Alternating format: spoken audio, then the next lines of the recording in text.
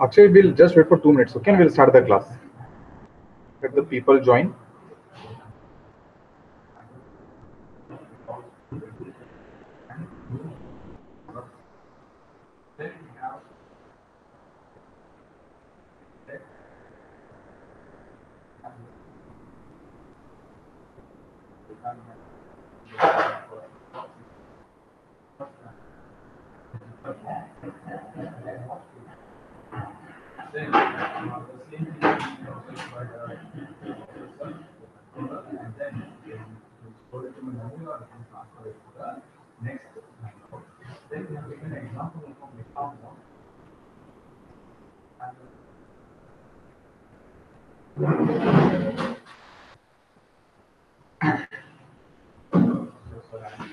Okay, Akshay, we'll not wait for some time. We'll continue, okay?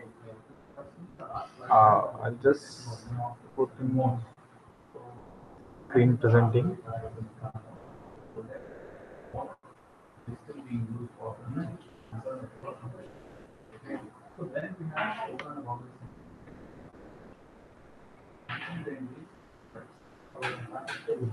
Really good. Yeah. Okay. So I hope just one confirmation again. Is the screen visible?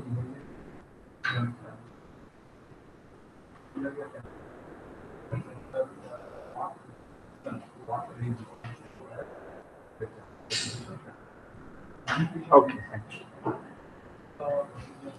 Yeah. So uh, in the previous class, we just studied about the SIG child and the wait PID API. So what does this do is, whenever, as I said, whenever there is a child process and parent process creates a child process. So whenever a child terminates or stop, parent is notified saying that child has terminated or stopped. So in that case, parent can take either of the actions, which we discussed in the previous class. Just a brush up for your. Parent can ignore the signal, it can catch the signal, or it can perform the default action, right? So this was what we studied in the previous class. In today's class, we'll study about SIG set jump and SIG long jump. Now, if you can recall this, we had said about set jump and long jump somewhere, right? So SIG set jump and SIG long jump is similar to the functions that of set jump and long jump APIs. Now we know where set jump and long jump can be used. Set jump and long jumps are used for unconditional branching statements. That means to jump from one function to another function. Go-to will do the same task but within the function. But if at all you want to work or jump across the function, we go for set jump and long jump. So in similar lines, we have signal set jump and signal long jump, which means that it allows you to jump from one function to another function. Not only jump, but also pass the signal. Not only give the control but also pass the signal from one function to another function. So they're used to transfer control from one function to another. Hence they're also called as non-local go-to statements. As i said very well non-local go-to statements is nothing but they are the unconditional branching statements. They also are something like go-to only but they jump across the functions so they are called as non-local go-to functions. Again set jump and sorry sig set jump and sig long jump are found in set jump dot h header file. And the syntax is again it is similar to set jump and long jump only. There is just one difference over there which you'll understand.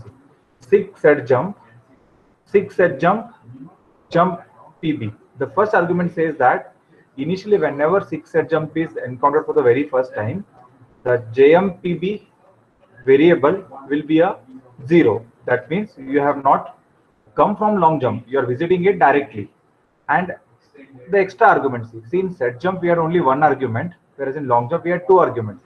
Similarly here set jump has one more argument that is save signal mask so what does it do is it not only takes you from long jump to set jump but also saves the signal mask which is carried forward from the long jump and long jump has again two parameters the first one which says that whenever a long jump is encountered, it jumps to this variable wherever sig set jump is set. And this retrieval value is nothing but the value which is coming from long jump here, which says that whenever long jump is encountered, you have to directly jump from this long jump function to the sig set jump. That is what is told here. See, the sig set jump behaves similar to set jump, except that it has a second argument, save signal mask, which allows the user to specify whether a calling process signal mask should be saved to the provided env argument or not. So here, now whenever long jump is going from this function to this, it's not only jumping, but it is also passing the signal. So this argument tells whether the signal which is coming from long jump should be saved or should be ignored. Similarly, sig long jump does the same operation as that of long jump. That means whenever it is encountered, it takes you to the location where set jump is set and also restores the calling process signal mask if the mask was saved in env argument. So it not only does that, but also saves it from this location to the sig set jump function. As I said, the rtval value specifies the return value of the corresponding sig set jump API when it is called from signal long jump and its value should be a non-zero number. That means whenever the sig set jump is encountered for the first time, its value is zero. But whenever it is called from the long jump, its value becomes a positive value. So it is said its value should be a non-zero number. That means sig set jump, if the value of sig set jump is non-zero, that means it has come from a long jump system call. That means it is not only used to pass the control, but also to pass the signals from one function to another. I can just show you how exactly this works here. Just look at this part. I have written the code also here. So what did I do here is I have written a sample code for set jump and long jump. See, again, these are two different functions which I have written to call the signals. Okay. So in main, I am pass calling sig set jump. Okay. So initially what I said, it should be a non-zero value. But since set jump, sig set jump is called from the main for the very first time, its value is zero, which is not equal to zero, right? So this is not true. Fails. So once it falls, it directly will not execute this part. This is never executed. It comes to this part. So what it prints now? sig set jump has been called. Now, initially, this is see if you look in the textbook, it is very complicated example, but this will help you to understand the things. So this will come here is been called, then you're calling a function p. Then the control goes to the function where p is encountered. Now p is here, comes here. This is just an error definition, which I have defined the error initially. Now sig long jump mark minus one. That means whenever this function is called, it directly goes to the point where sig set jump is encountered. So where it is sig set jump is encountered, is encountered here. Now again it comes here. Sees whether it is not equal to zero. True because now it has come from long jump. True. Then it comes here. It prints sig long jump has been called. Then you're calling a function recover. This is nothing. Just like a signal passing where you're passing a recover where nothing is written. After that again it returns to this function and you are exiting it. So same thing like a set jump and long jump only. Okay. Now see how this works. See, as I said, sig long jump is never executed because it is a zero that comes here. Sig jump has been called. After this, you have called a function p, where the control goes to p function, where you have defined sig long jump. So the main, whenever sig long jump is encountered, it jumps from that location to the point where sig set jump is set. Now this is a non-zero, so enters this function, displays this message, sig long jump has been called, and call the function recover, which does nothing. Just it's a swapping, switching between the processes which have written it. Then you are exiting it. So this is how your sig set jump and sig long jumps are executed. Okay. The next are this is very simple concept over here. Abort function. We have seen this in the Unix process also see normal termination and abnormal termination. So abort function causes abnormal program termination. So if your program is going in infinite loop or if it is not executing, you can always call the abort system call. Now abort system call, what it does, it causes abnormal program termination. Abnormal means some resources are already attached to the process, but still without releasing those resources, you are terminating the process. So this function never returns, very important. Abort function will never return anything. So only it is void and argument is void. So what does this function do now? This function sends the sig abort signal to the caller process. So whichever is the caller process, for that it sends the sig abort signal. And what does the processor should do now? Our process should not ignore this signal because abort and kill are the signals which a process can't ignore which I told initially only. And what does it do now? At any point of time, whenever this system call is encountered, it aborts the process. This is just a syntax for you to understand over there. Then very important, system API or system function. I'll tell you the example of this exactly here in the coding part. This in the coding part here, okay? Just I'll come back to this. Just give me two minutes. I'll just close this okay. I'll go to the project. I'll open a recent project system.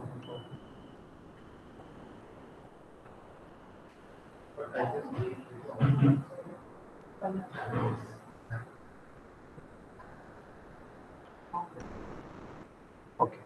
So initially i'll just minimize this also. I'll just show you the demonstration part here exactly. Now look at this.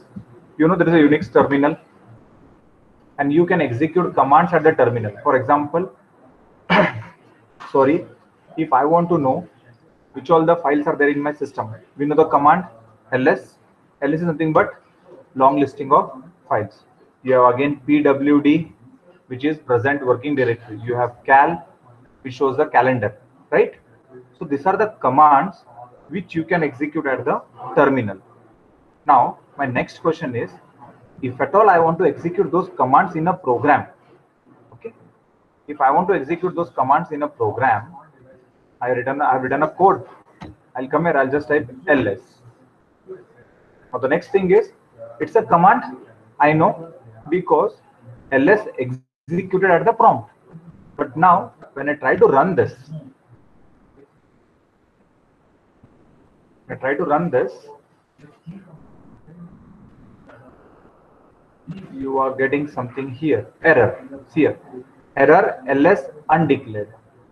Why? Because the commands which you can run at the prompt will lose its relevance in the source code. Please understand this. The commands which can execute at the prompt will lose its relevance in the source code. See here.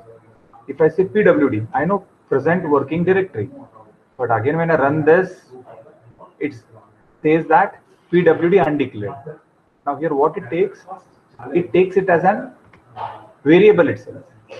So now the next question is, if at all you want to execute a command in a source code, see, understand it? If at all you want to execute a command in the source code, then we make use of system API or the system system call. See, system is a function or which is a system call only. So how exactly it works? Int, it writes an integer value on execution system and the argument is command. So whichever command you want to execute in the code, please remember this, I'm telling it again and again. Your commands will execute at the prompt. So here I'll minimize this. I'll come to the terminal. See here. PWD is a command, I know that it got executed. You have ls is a command which got executed. You have cal as a command which got executed, right? So all these are commands which are executing at the prompt, but the same command will lose its relevance when you are executing in a source code. So the next concept what you are learning is the system function or system API itself. So this function return is minus one on error. So if you pass something which is not a command, then it writes minus one. But if you pass a proper command, it writes a non-zero. Now what does the system do? It executes a command specified as a command argument. Specified as the command argument.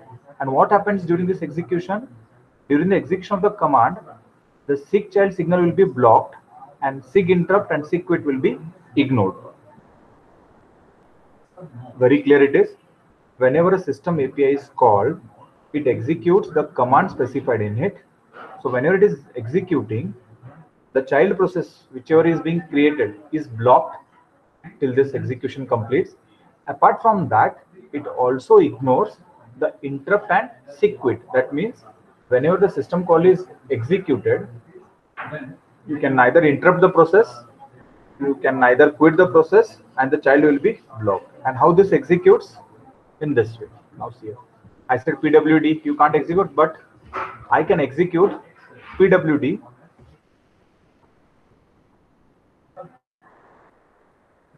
Okay. See, I can execute the present working directory in the system call now. In the system call. Now see, we know PWD is a present working directory. Now when I do this, it shows me the present working directory. See root slash system slash source. Even if you want to execute the calendar, CAL, I'll run this. It shows me the calendar of the system which is specified. Okay. Now, whichever you want, it can be showing that calendar for me. Okay. I want listing of files ls. Now will show me make file system o dot because you're in the run mode and in my virtual box there are no files available for me. So similarly, if I type now something, I'll type my name. Now my name is not a command. Okay, please remember this. My name is not a command. What should be on the output screen now? Command not found. An error. Whenever it writes minus one, it shows that command not found. So got this students? What the main thing I wanted to say here is system is a system. Sorry, where did I go? Okay.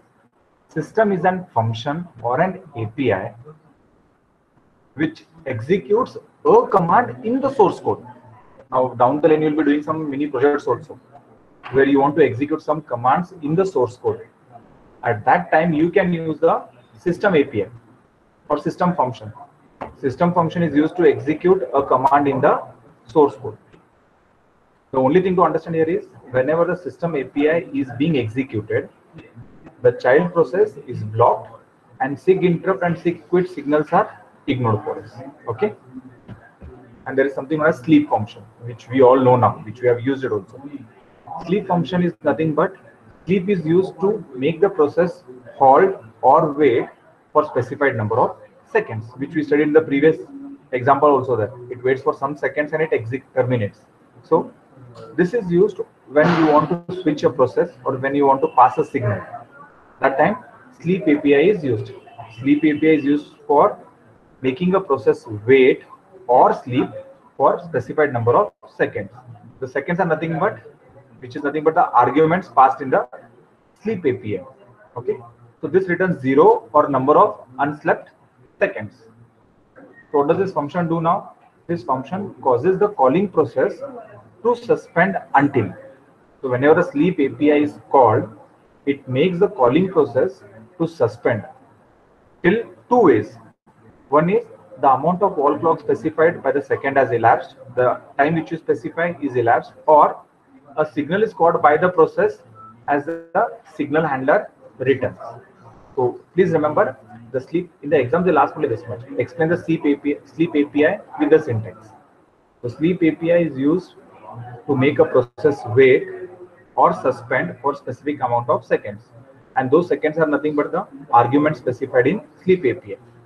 So whenever a sleep API is executed, it makes the process to wait until the time which is specified here is elapsed or any signal is caught by the signal handler. Now, example, if I say sleep 60, you will be on the output screen till 60 seconds by doing nothing. It does nothing for me.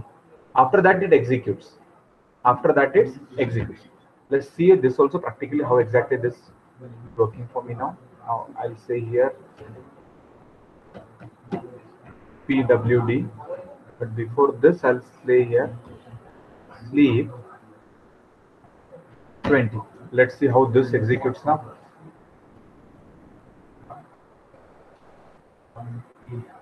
I should display with output, but it is not displaying because it is making the process to wait for the specified number of duration which was specified by me because I, before system API, I had called sleep API.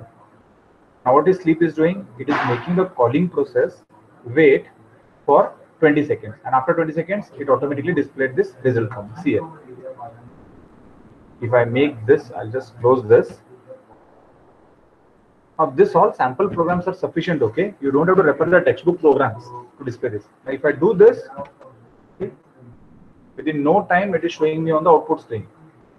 Yeah, but same thing if I call this, it will wait for those amount of seconds. I'll just reduce the duration. I'll say it 5. So it will display the output after 5 seconds because you made the calling process to wait. Now it is waiting in two ways. Either it can wait for 5 seconds. Okay, I'll just give a practical example here. Now first thing is I'll say 20. Okay, that means it should wait for 20 seconds. So what happens here is it is waiting for 20 seconds for process to get the control. After that, it is executing the PWD system call. So this is a simple example of sleep API. Okay, we understood what is about. We understood what is a system. System is used to execute a commands in the source code. Okay, whichever command is specified executes that. If it is not a command, it throws an error. Then we said about sleep API.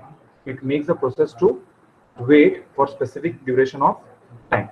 That's it. Nothing more in this APIs over here. Kill, signal, sleep, and all. Okay. The last concept here of the signals. Okay. Because as I said, the fourth unit consists of two chapters. One is signals, and the other one is daemon process. So this is the last concept of signals. Now, what are interval timers? Okay. Uh, now we all know now what is sleep and how sleep is constructed. You can construct a sleep with alarm and pause API. Sorry, I just made a spelling mistake here. It is alarm and sleep API. But what does sleep do? We all know now. Sleep will suspend a process for fixed amount of time. So other than this, alarm API can be also used to set up interval timers. We know now interval timers, alarm. Okay, see, sleep API suspends for some amount of time. But apart from that, you can also use alarm API, which is used to set up an interval timer. Now, what is an interval timer?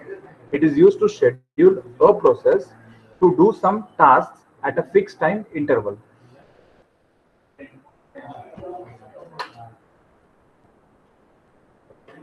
To do some tasks at a fixed time interval. That means your process is running, but in meanwhile, you can schedule a process to do some task at specified interval timer. See, the very simple example is your classes are going on now. You have a break of 15 15 minutes, right? So that is an interval time for you. So in a process also, you can schedule a process interval timer. Now, what does the interval timer will help? It will help the process to do some other task only for that specific duration of time. After the time gets over, you can again revert back it. That is what alarm is, right?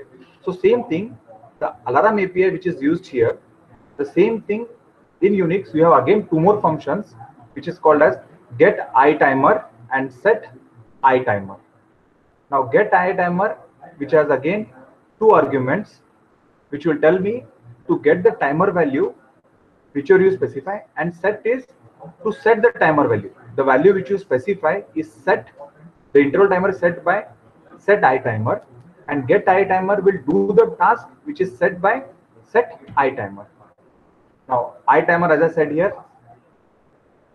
this, it is a structure. It has two member functions. One is the first member function is the it underscore interval. That is the next value in the timer function. What is the next value it should execute in the timer function? And the second member is the current value, which specifies whether the timer is set at the current value or to the next value.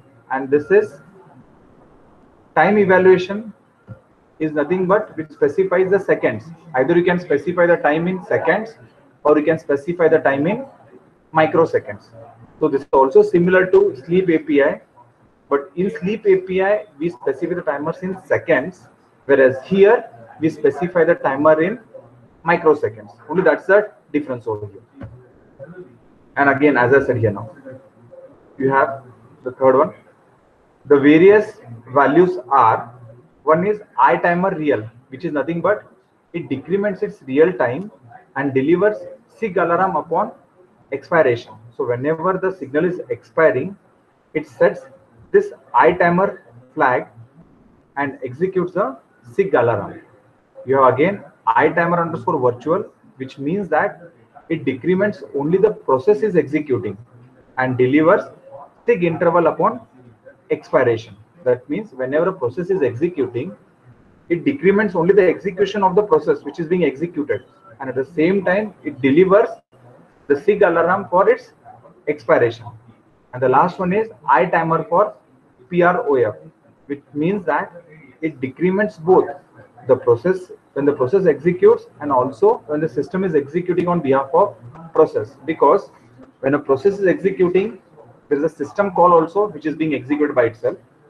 So whenever a system executes it decrements the process execution time also as well as the system execution time also on behalf of the process. And what it does it is usually used to profile the time spent by the application in the user and kernel space because in the very first chapter we studied the context switching takes place which means that it records the time that is that the application spends in executing in the user mode as well as executing in the kernel mode.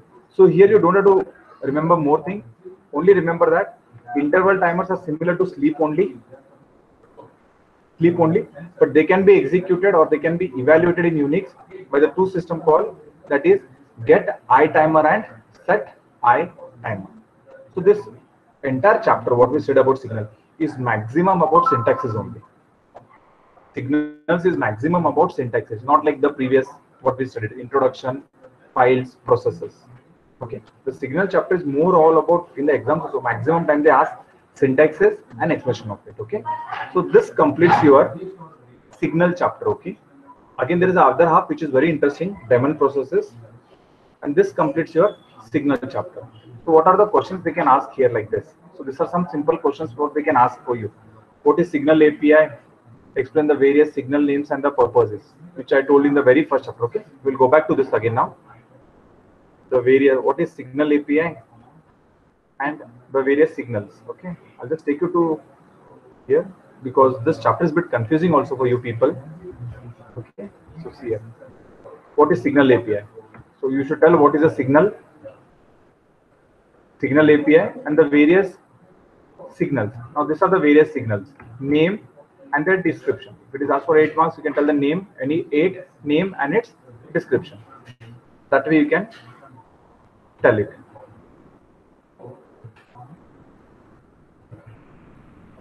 Similarly, you have you have what is signal mask, explain the syntax with sample program.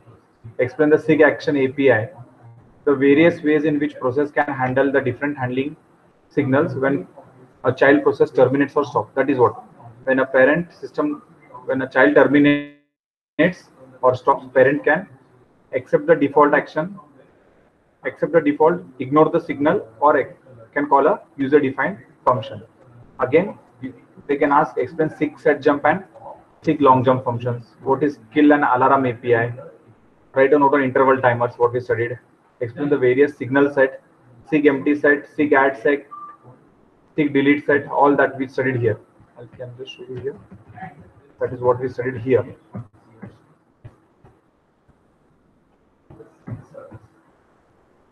This all. These are the various signal sets, sig empty set, sig fill set, sig add set, and sig delete set. These are just sample questions, okay? Because you may be unaware about like how questions can be asked for this unit, this chapter. Not these are not the questions itself, but this is the way they can ask you, okay? Yes. So the next class which will continue is very interesting. Our daemons are very interesting to be understood. And one more thing, students, uh, probably next week, that is the next Thursday, coming Thursday, we have arranged a guest talk for you where now you people will understand you're studying Unix, but where Unix is used in real time, how you can make your career in Unix. So I'm calling a person from IBM who will highlight you more about the industry aspects. Now see, what we are studying here is only theoretical aspects, but how Unix is used in industry. What are the scopes are there? Apart from your normal programming language, what can you do in Unix? Is what I have arranged it on Thursday, that is a coming Thursday, 10 o'clock. So make sure that please you do attend for that. It's a very interesting session for you also. Okay. Now, doubts over that? If no doubts, please give me this attendance over here. Okay, I require only 22 attendance in that, okay? Not more than that. Because I'll just, in this recording, I'll just scroll like this. This will tell me who I have attended for my session now. Yeah, because it's in recording, this will keep me a track also. Okay. So if no doubts, you can leave the class. So from the Monday's class, we'll start daemons. Now daemons are very interesting. Signals was more about uh, syntaxes only. Even I can understand that. Everywhere you had syntaxes to be explained there. Because you can't